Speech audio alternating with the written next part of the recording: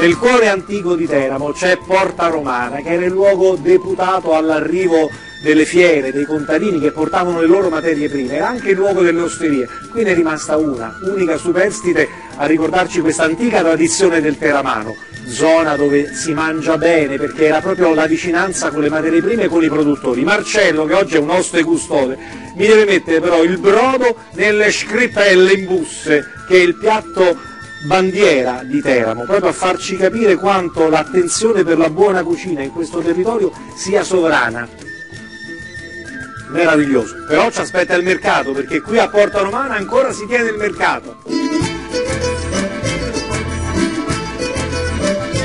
il mercato del contadino che la domenica dà colore e anche profumi. Nicola San Lorenzo, buona domenica, presidente Grazie. di questo mercato che oggi voi allestite per noi esclusivamente di domenica. Ma quando è che vi trovate invece? Noi qui siamo tutti sabato dalle 8 di mattina fino alle 2 del pomeriggio. No, il vantaggio è che i prezzi sono più bassi del 30% circa minimo il 30%, ai... sì, sì, minimo il 30% inferiore rispetto al prezzo di mercato. Poi trovano il prodotto a chilometro zero. Ma qui si può parlare di metri zero perché siamo veramente dentro al comune, tutte le aziende agricole nostre, eh, stiamo tutti intorno al comune di Teramo. Dico, con permesso, vado da Ugo che è il veterinario, però è un veterinario un buon gustaio, per presentare un prodotto tipico che, sul quale state investendo molto. Il salame di manzo. Il salame di manzo è un salame fatto con carne magra, quindi tagli nobili di marchigiana, un po' di grasso di maiale, sale, dargli pepe, un po' di morbidezza. Esatto, senza conservanti chimici, questo è importante. E com'è al gusto? È un gusto molto particolare perché è molto magro, ricco di proteine ed ha un gusto particolarissimo perché la carne bovina in questo modo si Veterinario, col suo permesso, signorina, eh, qua dobbiamo assaggiare un attimo, eh, una fettina per... e io devo dare in diretta. Buonissimo!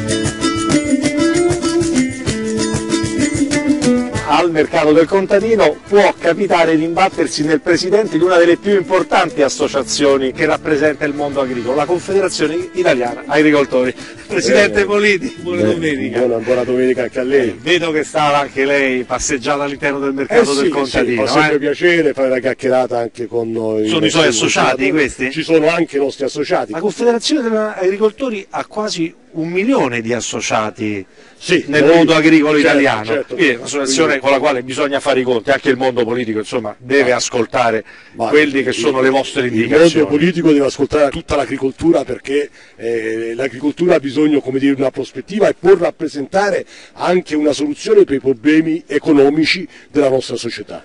È un problema anche per il mondo agricolo il ricambio generazionale? È un problema, ci deve essere un impegno forte da parte dell'Unione Europea, del governo e delle regioni per incentivare l'ingresso degli agricoltori giovani nel, nel settore. D'altronde noi abbiamo avuto una ripresa ed è positiva degli iscritti alle facoltà di agraria, quindi significa che si incomincia a guardare in maniera diversa a questo settore. Presidente, parliamo un attimo di gasolio. Pensa che il problema del gasolio, così come è stato risolto per l'autotrasporto, i camionisti o il mondo della pesca, la riduzione dell'accisa o addirittura un bonus gasolio, possa venire incontro alle esigenze del mondo agricolo?